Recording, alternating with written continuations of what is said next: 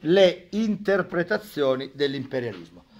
Allora, abbiamo detto la scorsa lezione che l'imperialismo è questo fenomeno di conquista e spartizione dell'Africa e dell'Asia a fine Ottocento da parte delle vecchie potenze coloniali, come Francia e Inghilterra, e delle nuove potenze coloniali come Germania, come Belgio, come Italia, eh, di potenze anche extraeuropee quali gli Stati Uniti, la Russia e il Giappone questa conquista in modo particolare dell'Africa che avviene con una vera e propria spartizione a tavolino, stabilita anche da conferenze europee che si tengono, ad esempio quella di Berlino, guidata e capeggiata da Bismarck, questa spartizione avviene in maniera rapida, avviene in maniera violenta e caratterizza una nuova fase del colonialismo europeo. Il colonialismo europeo è iniziato con la scoperta dell'America, ha una lunghissima ahimè, tradizione, ha una lunghissima poi incidenza sulla storia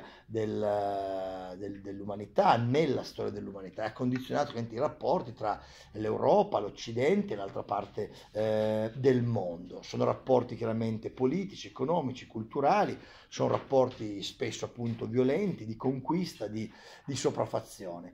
Questi fenomeni, questo fenomeno in particolare dell'imperialismo ha avuto diverse letture, diverse interpretazioni e oggi ve ne presento mh, alcune. Okay?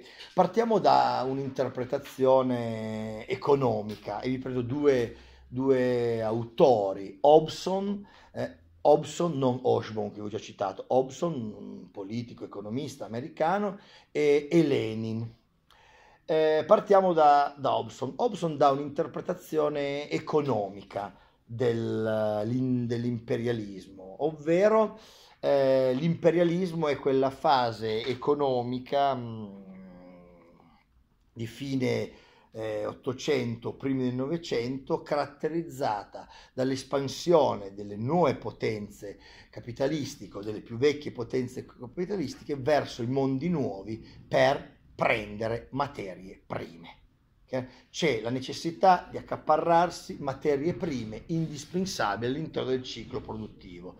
Dunque, secondo Hobson, l'imperialismo ha una natura economica. Le nuove potenze economiche capitalistiche, quali il Belgio, quali la Germania o le più antiche potenze capitalistiche di origine, l'Inghilterra e gli Stati Uniti, hanno bisogno di materie prime hanno bisogno di rotte commerciali, hanno bisogno di conquistare aree del pianeta da inserire dentro il ciclo economico, da inserire dentro il ciclo economico, che è un ciclo economico di produzione di merce, di allocazione di merci, è un ciclo economico finalizzato alla realizzazione ovviamente del, del profitto, della massimizzazione del profitto, che è tipico dell'economia capitalistica, che non è più un'economia di sussistenza, ok, dunque merce che ha un valore di scambio per avere altre merci, ma un'economia del tipo ho del capitale, produco delle merci, voglio ancora più capitale.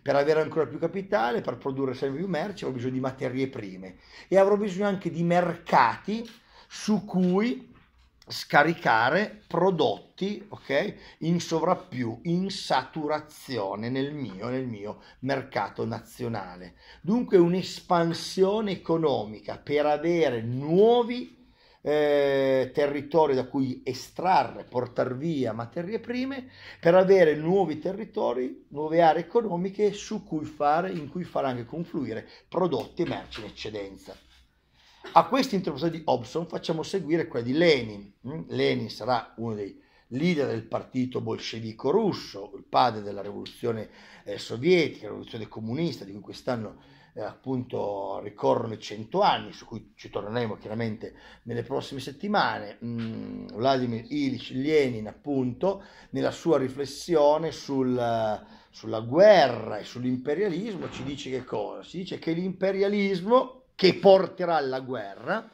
e la fase nuova del capitalismo. La chiamerà appunto una fase suprema del capitalismo. Il capitalismo, che si è affermato con la rivoluzione agricola e industriale in Inghilterra, che si è realizzato grazie all'accumulo di capitale in Inghilterra attraverso il vecchio colonialismo, il capitalismo, nuovo modello economico-sociale dominante nell'Europa e nell'Occidente, ha una nuova fase, una nuova fase in cui vive una nuova fase, fase in cui i confini nazionali vanno superati. Perché? Perché la produzione interna ha raggiunto livelli di saturazione, cioè i mercati si saturano, cioè le persone che possono comprare quei prodotti, appunto prodotti dall'industria, sono state raggiunte, sono state appunto saturate quella media borghesia che può comprare quel tipo di prodotti non può più comprarne. E quel tipo di, quella parte di popolo, di proletariato che può comprare altri prodotti non ne può più comprare, dunque bisogna andare oltre i mercati nazionali per conquistare nuovi mercati. Ma in modo particolare bisogna conquistare nuovi mercati, è simile a quello di Hobson, per produrre, per trovare, recuperare, conquistare nuove materie prime che permettono di aumentare la produttività, ma anche di abbassare il costo di produzione. Dunque, ripeto, secondo Lenin, l'imperialismo è una nuova fase del capitalismo, di un capitalismo che è nato dentro i confini nazionali, Inghilterra, Francia, Germania, Belgio, ma che ora per superare la crisi di sovrapproduzione che avviene nel, negli anni 70 dell'Ottocento, per superare la saturazione dei mercati, per saturare dunque la recessione, per superare la recessione deve andare verso nuovi mercati, verso nuove aree.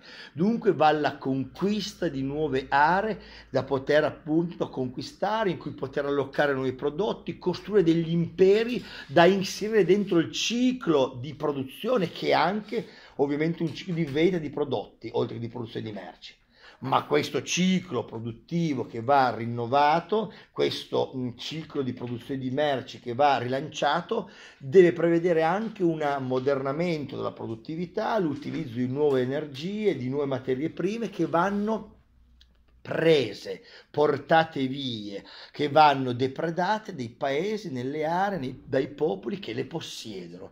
Dunque il capitalismo si fa imperialismo, cioè conquista di aree del pianeta a cui sottrarre materie prime. Dunque il capitalismo porta con sé la violenza. E Lenin dirà, e per far questo le imprese hanno bisogno, i gruppi capitalistici, di nuovi alleati, le banche, e soprattutto i governi, banche che finanzino okay, la nuova svolta industriale, banche che finanzino questi nuovi cicli produttivi, siderurgici, metallurgici, di, di, di, di anche economia e di scambi internazionali, ma anche degli stati che supportino queste imprese, queste banche. Dunque lo Stato si fa alleato dei gruppi capitalistici e va lo Stato alla guerra imperiale anche per conto, dirà Lenin, dei gruppi, dei gruppi di siderurgici, metallurgici, di automobili, dei gruppi di mm, eh, produzione di energia, dei gruppi di estrazione, delle compagnie commerciali di prodotti alimentari o di prodotti di abbigliamento, cioè nuovi mercati, nuove aree da conquistare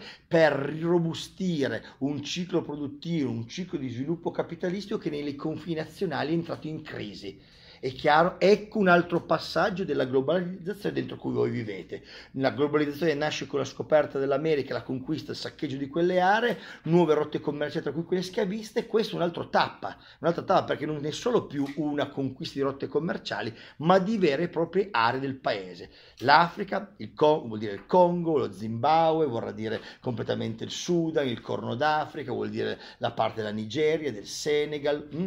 vorrà dire per gli americani andare nel nei Caraibi, soppiantare eh, i, i gli spagnoli dare vita ad esempio alle industrie dello zucchero, della barbabietro, della canna da zucchero, degli agrumi, del, del, del, frutti tropicali, cioè aziende che arrivano lì e mettono radice lì, fanno lavorare i lavoratori, li pagano poco e portano poi dopo le, la frutta in Florida, in California, che sono già anch'esse ricche di frutta ovviamente, ok? Ma è un passaggio, uno step in più dello sviluppo capitalistico. L'ENI imperialismo fa il supremo del capitalismo e ci porterà alla guerra, perché quando gli interessi degli stati al servizio dei gruppi capitalistici in, collimano si arriverà alla guerra. Francia contro Germania, Inghilterra contro Austria, contro, contro Germania, Russia contro eccetera eccetera, Germania. Stati Uniti contro Germania. Quando gli interessi collimano nell'imperialismo si giunge alla guerra. Interpretazione economica 1. Seconda interpretazione, la seconda interpretazione è un'interpretazione di tipo politico, va bene? Un politico, cioè è... Sì, la possiamo accumulare, no? sintetizzare è un'interpretazione di natura politica, anche Schumpeter ci sia cose di importante su questo tipo di interpretazione. Interpretazione di tipo politico cosa vuol dire? Vuol dire che noi ci troviamo, che poi è anche un'interpretazione che possiamo attribuire allo stesso Bismarck, eh, eh secondo l'interpretazione politica gli stati si fanno impero per, imperi per l'egemonia politica per essere più potenti. Avere l'impero significa ehm, esprimere ehm, la propria volontà di potenza, significa essere eh, grandi potenze a livello politico-militare all'interno dello scacchiere internazionale. Dunque la conquista imperiale dell'Africa, l'espansione imperiale verso l'America Latina, eh, degli Stati Uniti, l'imperialismo la conquista dunque neocoloniale del Giappone verso il Pacifico, della Russia, verso il Mar Nero, verso ehm, il Caucaso, rispondono non a logiche economiche soprattutto, secondo questa interpretazione, ma a logiche politiche. Possedere l'impero significa far parte delle grandi potenze. Allora il Congo belga è figlio delle volontà di Leopoldo II di possedere l'impero oltre di sfruttarne le risorse minerarie, diamanti, ma significa che anche il Belgio vuole sedere al tavolo delle grandi potenze e poter dire di avere un impero, dunque avere navi, avere le prime corazzate, gli inglesi, gli, gli americani che solcano il mare del mondo, gli oceani Pacifico, Atlantico, il mar Mediterraneo, l'oceano Indiano, nella conquista dei territori, più sei impero, più sei muscoloso e se ti siedi al tavolo delle potenze muscoloso avrai una capacità di trattare, di contrattare più alta, dunque risponde a volontà politiche, diventa la Machiavelli dunque, vogliono essere dei principi più forti gli stati. Lo stato di Machiavelli, il principe, forte come un leone tutto come una volpe. Potremmo dire che l'interpretazione imperialismo, dell'imperialismo politica risponde all'idea della forza del, di Machiavelli come un leone. Cioè essere forti come un leone di Machiavelli diventa per gli stati di fine 800 essere degli imperi. E Osbaum, qua, chiama appunto questa età l'età degli imperi, in cui l'Italia voleva l'impero, voleva il posto al sole, il Belgio voleva l'impero, l'Austria l'impero, la Germania l'impero, l'Inghilterra l'impero, la Russia l'impero, il Giappone l'impero, per essere potenze, per incutere timore. E l'impero muscoloso vuol dire armi, armi, navi, navi, blindati, vuol dire soprattutto ehm, eh, obici, bombe, vuol dire mitragliatori, tutti si armano per essere delle potenze ma sapete che armarsi significa di fatto prepararsi alla guerra. Tendenzialmente, cioè toccando la pace perpetua, quando uno Stato si arma più degli altri penserà di risolvere quel conflitto con, con la forza, esattamente come a un certo punto alcuni di voi sono stati molto più forti, molto più muscolosi, c'è una discussione sotto il parco e quello più forte cosa decide di fare? Di risolvere dando un cazzotto agli altri, ok? O quello che madre natura ha dato di maggior grandezza, peso e forza, quando si va a discutere usa la forza. Quando ci si arma e ci sono delle crisi internazionali, il tentativo, la tentazione è quella di andare alle armi ed è quello che avverrà nella prima guerra mondiale. È chiaro? Interpretazione politica. La causa scatenante è la volontà di potenza politica, di egemonia, di grandeur, usando una espressione francese. Terza e ultima interpretazione di questa serie di letture che vi do nella serie di oggi è un'interpretazione di tipo culturale, cioè alla base dell'imperialismo vi sono sì fattori economici, sì fattori politici, ma vi sono anche fattori culturali che hanno fatto sì che l'uomo bianco, l'europeo, l'occidentale, ancora una volta decidesse di andare a conquistare il mondo con l'idea di essere civiltà, cultura, razza superiore. Sono gli anni del razzismo il eh, marchese de Gobineau ha pubblicato un saggio sulla razza in cui sostiene che no, le, esistono le razze e le razze hanno delle caratteristiche psicofisiche ben diverse. Allora ci sono i bianchi che hanno una corporatura equilibrata, hanno un cranio che contiene un cervello eh, che non sobbalza, ma un cervello funzionale. Abbiamo i bianchi che hanno dimostrato, gli europei, di aver sviluppato religioni, stati, culture secolari di grandezza e abbiamo altre popolazioni che sia fisicamente che culturalmente dimostrano inferiorità, la forza fisica bruta, ma lo scarso intelligenza degli africani, dei negri all'epoca, forti muscolarmente, con questo cranio molto grande, mani molto grandi, dunque mani molto grandi va bene per lavori manuali, non per suonare il pianoforte o per saper fare le cose meccaniche più raffinate, testa molto grande dentro cui, cose buffe totalmente sbagliate,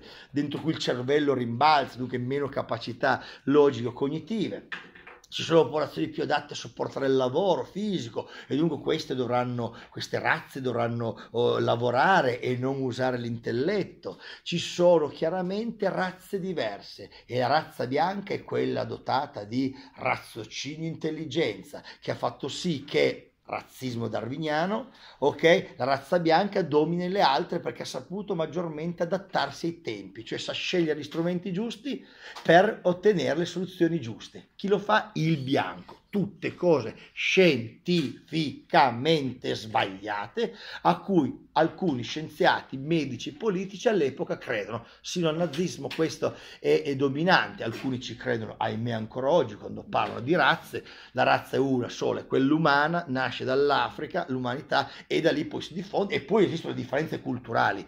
Viva Dio, siamo diversi, è chiaro Okay? Dunque il razzismo nutre questa interpretazione, cioè l'uomo bianco deve andare a conquistare e a civilizzare. E vi faccio alcuni esempi.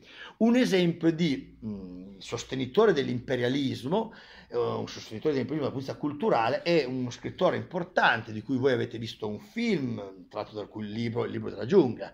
Kipling, autore del libro della giungla, delle avventure di Mowgli, di Bagheera, eccetera, eccetera, è un convinto sostenitore della supremazia della civiltà bianca occidentale, tant'è che in una sua celeberrima poesia, in un'ode, scriverà il fardello, ci parlerà del fardello dell'uomo bianco. L'uomo bianco ha un fardello sulle spalle, questo fardello si chiama la civilizzazione, deve portare nel giro per il mondo, in giro per il mondo la civilizzazione. Ed è un fardello perché gli indiani, quelli dell'India, no? contro gli inglesi, lui è, un, lui è lo sapete, è un inglese ma di origini indiane no? e Kipling ci dice, eh, noi arriviamo in India inglesi a portare la civilizzazione, la tecnica, la tecnologia, le, cult- le strutture politiche, ma non ci vogliono, non è detto che noi saremo accolti, perché chi porta la civiltà non sempre accolto con i tappeti rossi, ma spesso è boicottato questo fardello e le guerre che dovremo combattere. Noi adesso andiamo nel Sudafrica a portare la civilizzazione, no agli Zulu e agli africani, ma non è detto che saremo accolti bene, perché portare le strutture politiche, economiche a questi popoli può anche comportare dover fare delle guerre. Kipling, che in quel libro no, sembra aver mostrato anche una grandezza verso l'infanzia, i racconti, di, le fiabe per bambini di Kipling sono veramente molto belle. Ebbene, Kipling è un sostenitore dell'imperialismo a partire dall'idea i bianchi, gli occidentali, gli inglesi europei portano la civilizzazione, porteranno l'ABC della matematica, porteranno la medicina, porteranno il diritto, le leggi. Bisogna civilizzare il mondo. Uomo bianco ha una missione da compiere. Kipling sostenitore. Una, un nemico invece di questa posizione, ma anch'esso uno che sostiene che alla base ci sia il razzismo culturale, è Conrad. Conrad, autore di Cuore di Tenebra, scrive questo libercolo in cui condanna duramente duramente l'imperialismo. Conrad dice che dietro l'imperialismo c'è l'idea che l'uomo bianco si consideri superiore, va a sottrarre risorse, va a conquistare piane- il pianeta con l'idea di portare la civilizzazione.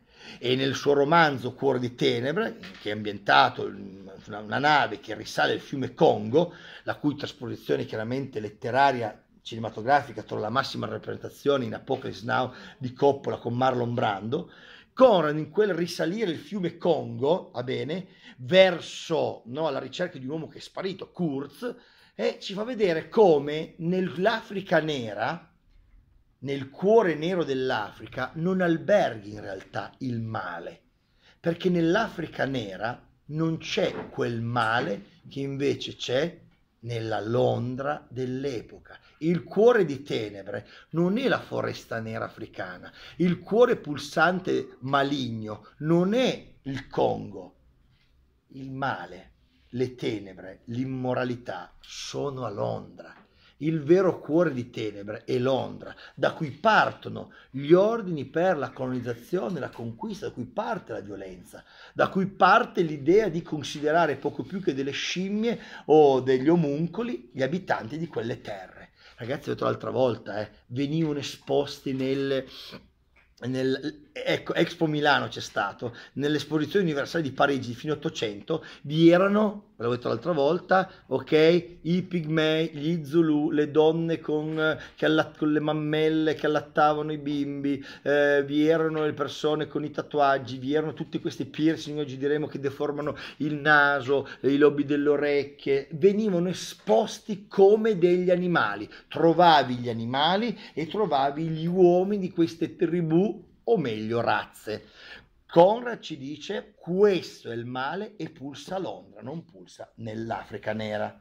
Chiudo questa lezione andando un altro autore che sostiene che dietro ci sia nell'imperialismo un razzismo culturale, un'idea di supremazia culturale ed è molto critico di questo eh, fenomeno che Mark Twain. Mark Twain, grande scrittore americano, va bene, mm, l'autore no, di, di, di, di, romanzi, di novelle, un americano La di Re Artù, dei suoi più Huckleberry Finn, no? dei suoi più, suoi più celebri romanzi, e alcuni dei suoi più celebri romanzi, bene, Mark Twain ci dice in maniera netta che cosa? Che quello che sta avvenendo in Africa, in modo particolare ad opera di Leopoldo II, re del Belgio, poi imperatore dell'impero belga, è un massacro dettato dalla convinzione di supremazia culturale dell'uomo bianco l'uomo bianco sta massacrando queste popolazioni con l'idea di essere il depositario di una cultura di una moralità superiore e sta compiendo un massacro. Noi oggi sappiamo, ve l'ho detto la scorsa lezione, che probabilmente il primo genocidio della storia, cioè sterminare una razza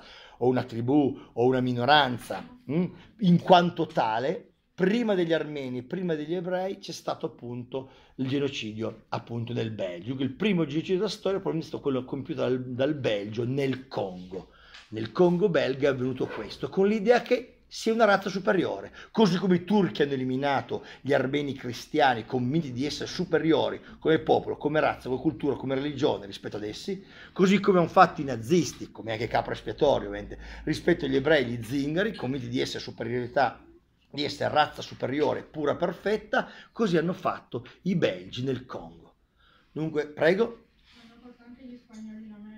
Ecco, buona, buona domanda. Eh, molti eh, storici dell'America Latina sostengono questo, altri, ma è proprio una definizione tecnica, eh, dicono, guardate, noi non usiamo l'espressione genocidio per gli amerindi e per i nativi d'America per questo motivo perché gli spagnoli non li vogliono sterminare tutti in quanto razzo tribù, li sterminano perché questi combattono e non ci stanno. Lo stesso dicasi per gli americani, nordamericani. Se i Navajo, Cheyenne, Apache avessero accettato di entrare a far parte del nuovo Stato americano, perdendo in parte la loro cultura, il loro modo di vivere o mantenendolo in minima parte, gli americani non li avrebbero sterminati. Ma siccome dai Cheyenne ai Tomoka e agli Apache hanno combattuto, gli americani li hanno sterminati. Dunque, una piccola differenza eh, che non cambia il fatto che vengono sterminati. Pensate, 70-80 milioni di amerindi tra guerre, malattie e violenze nelle miniere, 12 o 15 milioni di indiani, mm, ma la differenza è che un Apache, un Cheyenne, un Amerindo poteva dire guarda, io lavoro per te, bianco cowboys, io lavoro per te, spagnolo conquistadores, si potevano salvare. Un ebreo, uno zingaro, nel progetto nazista sono razze da eliminare, siano essi collaborazionisti, ci furono alcuni ebrei che tentarono di collaborare, siano essi nemici. un ebreo ovunque sia, qualunque carica politica abbia, ruolo economico abbia, condizione sociale viva, va estirpato come delle ortiche appunto dal giardino. Dunque un ebreo non può mettersi in salvo, genocidio pianificato, uno zingaro non può mettersi in salvo, una Pash, un Cheyenne o una Merendo poteva salvarsi.